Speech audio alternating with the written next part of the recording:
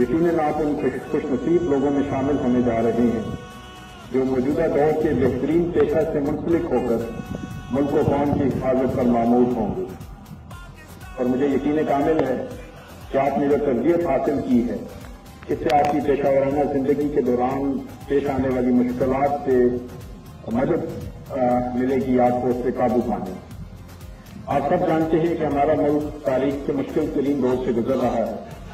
और इन चैलेंजेस से नगर आजमा होने के लिए मुल्क की क्यादत ने यकजा होकर ऐसे इकदाम किए हैं कि आज पाकिस्तान में बहुत हद तक, बल्कि मैं कहूँगा तकरीबन मुकम्मल हद तक अमन कायम हो चुका है। जिसकी वजह से हमारा मुल्क अब इंशाल्लाह तरक्की और तामीर के रास्ते पर गामजन है।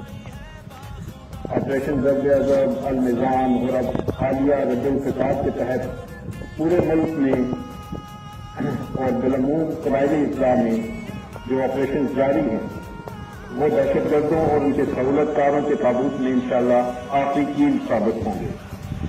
मुझे यकीन है कि बहुत जल्द अल्लाह ताला के फजल करम ख्वाज पाकिस्तान एनसीएफ को और पुलिस की बेसुना कुर्बानियों की बदौलत मुल्क में इससे भी ज़्यादा और पायदार अमन कायम होगा।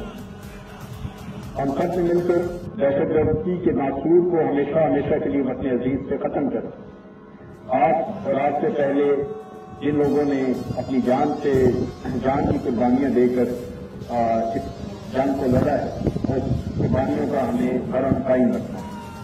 इस मकसद के हसूल के लिए कानून नाफिज करने वाले इदारे हम सब यकजा होकर दुश्मन के तमाम इरादे खास में मिलाने के लिए पुरजम जाए और कायदे आज़म के फरमान के मुताबिक ईमान इतिहाद और तंजीम की उनकी तस्वीर बनकर अपने अज़ीज़ के दिफा के खदमात अहतमाम और खुशहाली के लिए एक होकर रहे।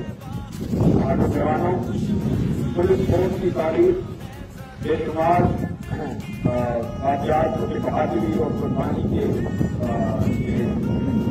भरपूर हैं। उनसे गुजरिए फोर्स के जवानों ने हमें सहकाम के लिए जो कुर्बानियाँ दी हैं, उनका तस्करा तारीफ़ में सुनहरे अरूप से किया जाएगा। आपका जज्बा, मोराल और अशांत विशास चेहरों को देखकर मैं आपकी आला ट्रेनिंग के म्यार और अजम का अंदाज़ा लगा सकता हूँ। आखिर में मैं आपके तमाम ऑफिसर्स और यूनिट, बैंक जिनसे ये ट्रेनिंग चलाई है और सरदार पैगान इन सबको मुबारकबाद पेश करता हूँ। कि जिनकी सबरों की मेहनत से आपकी न्यायिक पहले मुमकिन थी आइए, आज के दिन हम इस अहद की तजीद करते हैं कि मुमलिकत खुदा पाकिस्तान के लिए किसी भी किस्म की कुर्बानी से डरेंगे नहीं। अल्लाह ताला हम सब का हामी नाम हमारा प्यारा पाकिस्तान, जिंदाबाद।